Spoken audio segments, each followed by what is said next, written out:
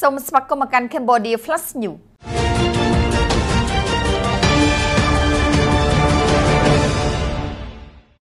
បរិយាជាងកាត់កញ្ចក់ម្នាក់ត្រូវបានប្រជាពលរដ្ឋផ្ទះឃើញស្លាប់នៅលើផ្លូវម្ដុំស្តង់តាងួនក្នុងភូមិបាលីឡៃ2ក្រុងប៉ោយប៉ែតខេត្តបន្ទាយមានជ័យកាលពីយប់ថ្ងៃទី31ខែតុលាសមត្ថកិច្ចបានដឹងថាសពឈ្មោះវីឆវ័នអាយុ33ឆ្នាំទីកំណើតភូមិទួលតតឹង2ស្រុកបរិណុកខេត្តប្រស័យហនុ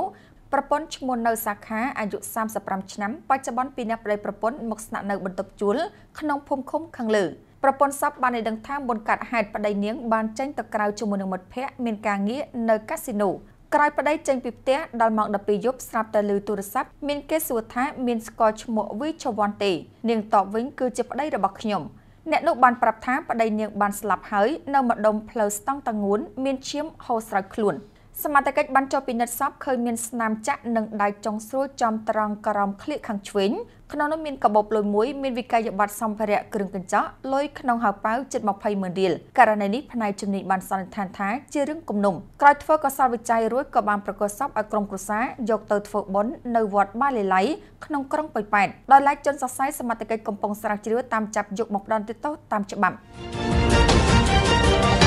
គ្រោះថ្នាក់ចរាចរណ៍មួយបានកើតឡើងដោយបារម្ភម្នាក់ជិះម៉ូតូលឿនបានចូលទៅបុករថយន្តពីក្រោយពេញទំហឹងបត់ឆ្លងផ្លូវបណ្ដាលឲ្យខាងម៉ូតូស្លាប់មួយរំពេច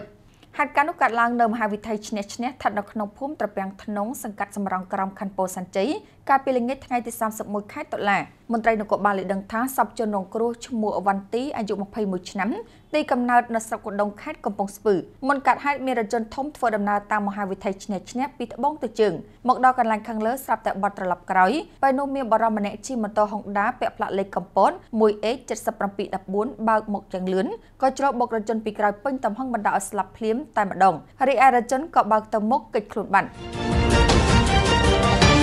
កំណើននគរបាលរាជធានីភ្នំពេញកាលពីថ្ងៃទី31ខែតុលាបានបញ្ជូនចុះសរសៃ7នាក់ពាក់ព័ន្ធកັບជនរងគ្រោះប្លន់យកម៉ូតូបានសម្រេចទៅតុលាការ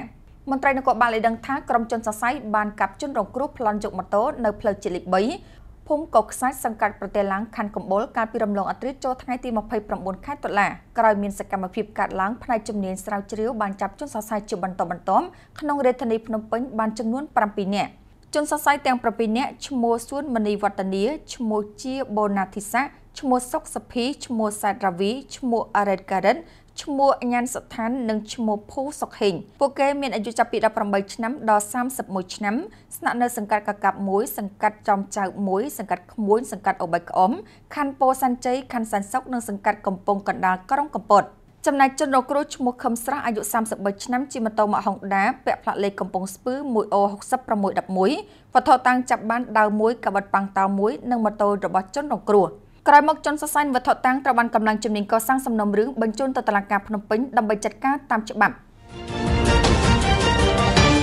បរមម្នាក់ទៅចិត្តខឹងនឹងបងស្រីស្ដីឲ្យបន្តិចបន្តួចក៏ចង់កសម្លាប់ខ្លួននៅក្នុងបន្ទប់ជួលស្ថិតនៅសង្កាត់ស្ទឹងមានជ័យ3ខណ្ឌមានជ័យកាលពីយប់ថ្ងៃទី31ខែតុលា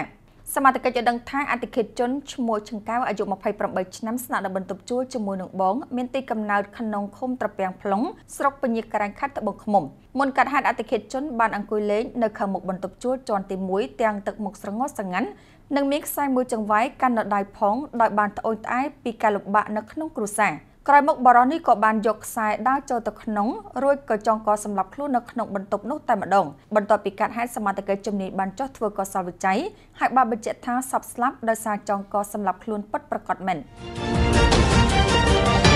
បរិសម្នាក់ឡើងផ្ទះគេជន់ទី1ប៉ងលួចទ្រព្យសម្បត្តិតែម្ចាស់មកតន់ក៏លោតចុះមកក្រោមក្រិចកជើងរត់លេងរួចត្រូវបានប្រជាពលរដ្ឋនាំគ្នាចាប់ឲ្យសមត្ថកិច្ច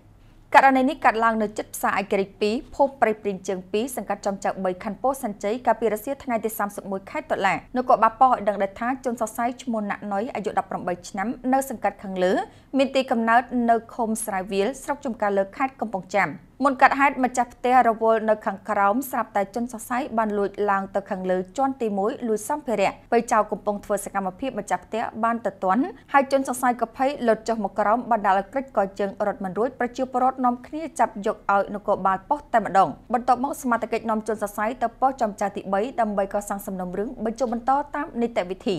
អរគុណសម្រាប់ការតាមដាន Cambodia Flash News